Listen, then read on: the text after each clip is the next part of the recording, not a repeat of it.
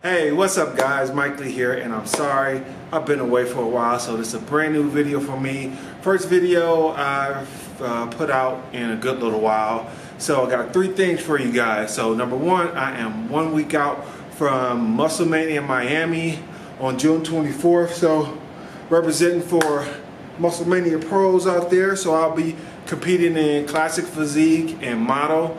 Uh, number two, um, yeah, I'm going to start bringing you guys more content, more about nutrition, uh, weightlifting, natural muscle building, everything that I do on a daily basis, weekly basis uh, to maintain my natural physique.